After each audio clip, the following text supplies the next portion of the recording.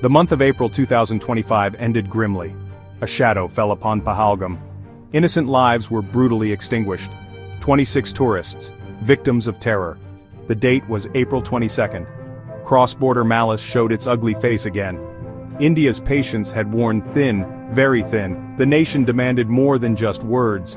India's response was swift, multifaceted. The Indus Waters Treaty was suspended. Pakistani diplomats were shown the door. Trade ties were immediately severed. Visas were cancelled. A clear message sent. Economic levers were pulled hard. Diplomatic pressure mounted intensely. But this was only the beginning of the storm. The initial phase of Operation Sindoor began. It was the night of May 6th stretching into May 7th. Nine terrorist camps became primary targets. Lashkar-e-Taiba faced India's might.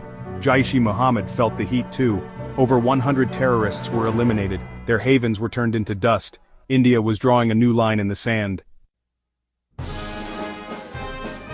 The core of Operation Sindoor unfolded dramatically. The date was May 10, 2025. Indian Air Force jets roared into action. They flew deep, over 300 kilometers. Hostile territory held no fear for them. Precision was the mission's guiding principle. Key Pakistani military aerial assets were targeted. This was a strike at the enemy's eyes and claws. The damage inflicted was substantial, crippling. A Pakistani Saab 2000 AWACS was destroyed. This aircraft was their eye in the sky. Its loss blinded their aerial surveillance. Two American-built F-16 fighter jets were neutralized. These were potent symbols of their air power, a JF-17 Thunder fighter jet also met its end. Their strike capability suffered a severe blow. The destruction did not stop there. One C-130J Hercules transport aircraft was hit. This impacted their logistical capabilities significantly. Pakistan's ability to retaliate effectively was hampered. The operation was surgical, precise, and devastating. Each target was carefully chosen for maximum impact. The message was clear. India could reach deep, and India could strike with impunity. The success of Operation Sindoor rested on superior technology. Indian Air Force Rafale jets led the charge. These advanced fighters provided the cutting edge. Su-30 MKI jets played a crucial supporting role.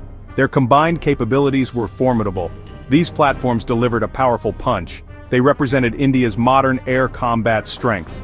The pilots showcased exceptional skill and bravery. The weaponry used was equally state-of-the-art. Scalp cruise missiles were deployed effectively. These long-range missiles found their marks. BrahMos supersonic cruise missiles were also unleashed. Known as the world's fastest, they were unstoppable. Their speed and power left no room for interception. These missiles are a jewel in India's arsenal. They exemplify indigenous defense prowess. These advanced missiles possessed critical capabilities. They were GPS-guided for pinpoint accuracy, Terrain-hugging flight paths helped evade detection, they could effectively dodge enemy radar systems. This ensured targets were hit with minimal collateral damage. The technology guaranteed mission success. It minimized risks to Indian pilots and aircraft. India's investment in defense tech paid off handsomely. Section 4, Iron Dome, Indian Steel, defending the nation. Pakistan, reeling from the strikes, attempted a response. They launched their counter-operation. It was codenamed Operation Bunyan al-Marsoos.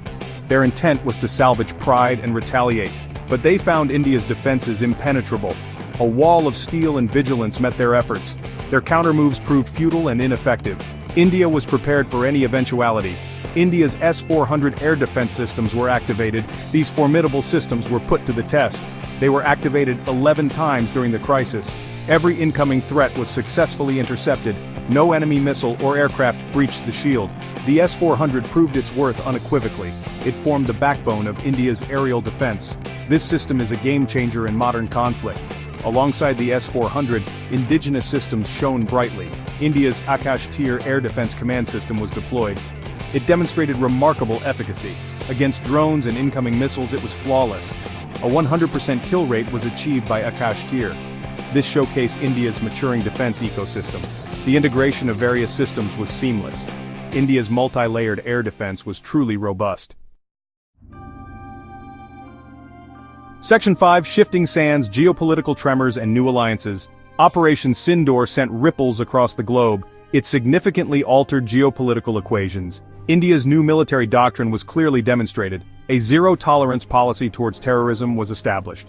Retaliation would be selective, precise, and impactful. The message terror and talks cannot coexist. Neither can terror and trade or terror and treaties. This marked a definitive shift in India's strategic posture. International reactions to the operation were varied.